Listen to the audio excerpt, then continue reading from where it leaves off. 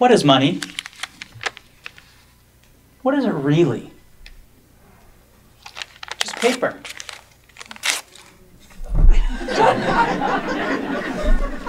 Currency is a form of exchange, an intermediary. You buy stuff, you sell stuff. But we place a lot more into money, don't we? We place our values, our interests, our association. And we've created these institutions ever larger to transact that capital. Stocks now trade at a push of a button out in cyberspace. And we expect these institutions to safeguard our interests and protect our welfare. But what happened? Financial disaster, the worst loss of wealth since the 1930s.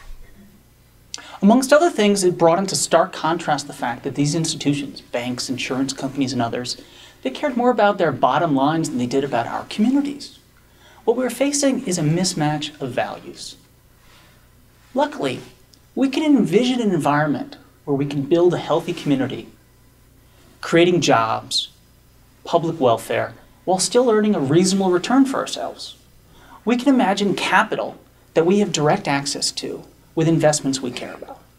But to do that, we have to move from Wall Street to Main Street. Luckily, it's already happening. We haven't seen some sort of communist revolution, but we're not sitting around waiting for government to solve our problems. We're using the power of the marketplace to leverage our own self interests. Local investing for all, community investing. This is part of a wider universe called socially responsible investing, or SRI. It's actually the fastest growing segment of the investing marketplace. One in nine dollars here in the United States today actually has some sort of social screen on it. And in Europe, with retirement funds, one out of four euros has a social screen. So how does it work?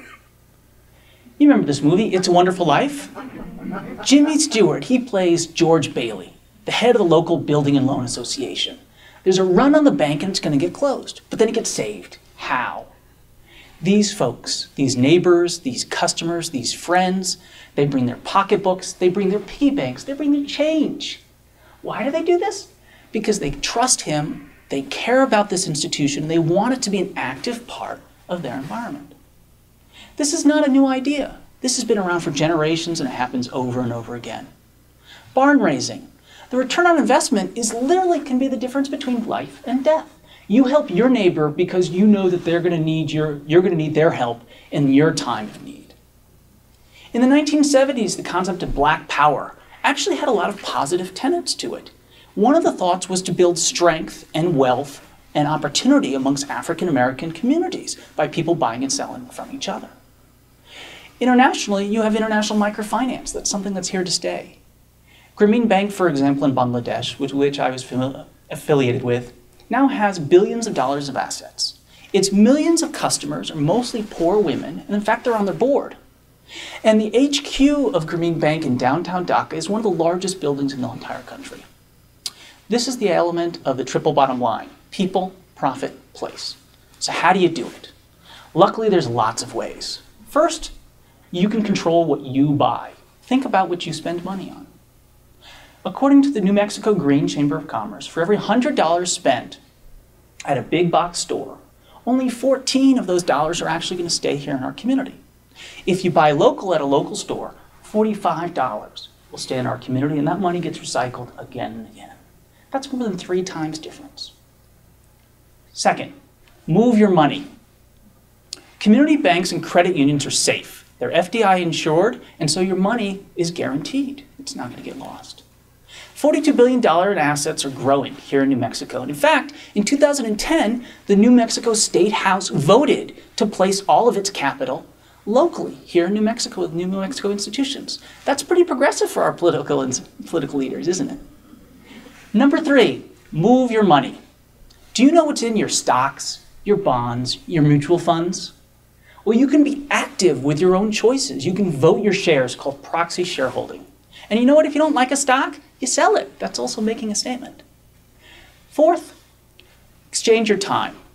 Time banks and other methods of barter actually allow you to take an hour of your time and trade it for an hour of somebody else's. Technology is making this more and more possible. It's removing the middlemen and allowing you to have direct access to investment opportunities you might care about and have interest in.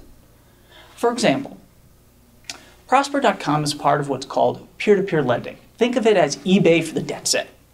$315 million have been lent through Prosper.com, and this is just one of many institutions. Crowdfunding is here to stay. It started off with philanthropy and donations, but now there's increasing opportunities to have a return on investment, either with barter exchange of things and also for return. And with new laws coming up, we might even see a greater opportunity to democratize this opportunity. 2.5 million people have used Kickstarter to transact $315 million. Local investing clubs. Lion, less than five years old, already has 20 chapters nationwide and Slow Money held its inaugural conference right here in Santa Fe about three years ago. Community investing. It's here in New Mexico. These investments are safe.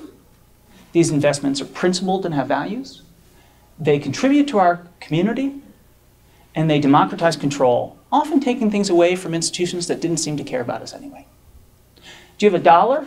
Do you have a million dollars? You got to start somewhere. Buy local, and with the holiday season coming up, you can do that. Move your money, own what you own, and exchange your time. Local investing for all. Capital worth more than the money it's printed on. Thank you very much.